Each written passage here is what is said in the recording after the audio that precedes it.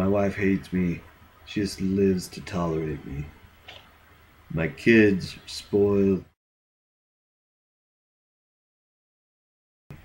You know, I lived a sheltered life as a kid, man. I'm telling you, it's just life is not what you think it is until you get out there and you experience life at the fullest.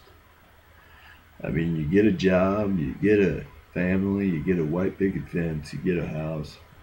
And really, it all comes down to how much money are you making and how, how, how are you going to support your family and will your family even care about you?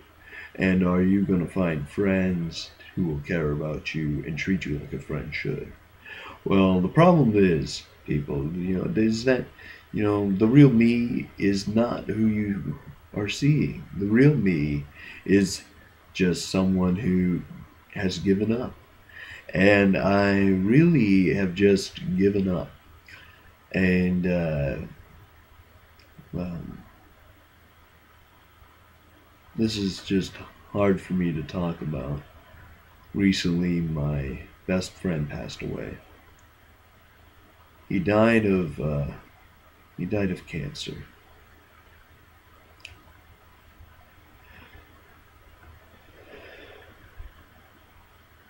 He was a good friend, a loyal, loving friend, someone you could actually call a friend. And that's not really something you can say because friendship is hard earned. And when you do earn it, it usually is a dark, deep seated thing there's something behind it and why they want to be your friend. You know, trust is hard to be earned. Trust has to be earned. Um, but really, you know, it's uh, it, it all comes down to circumstance. You need to have no, scratch that. Rewind. You need to find that circumstance. You need to search the world for that circumstance to have the good, quote unquote, circumstance. Good, quote unquote. And nothing is really inherently good. We all are evil and good. We have a bit of badness in us and goodness within our hearts. None of us are quote unquote perfect. And when you go out into the world and search for that circumstance where you fall in love, you get married, you live together, learn more about each other as time goes on, have children, have a home, you find yourself finding out about yourself I know that really doesn't make much sense. It, it sort of catches you off guard because you will learn things about yourself that you never knew before. How angry you can get, how depressed you can get. You you think you're depressed now because you're lonely? Just wait until you're married. That is when the lonely years start. Because once you're in love, it's fine. It's dandy. It seems all peaches and roses.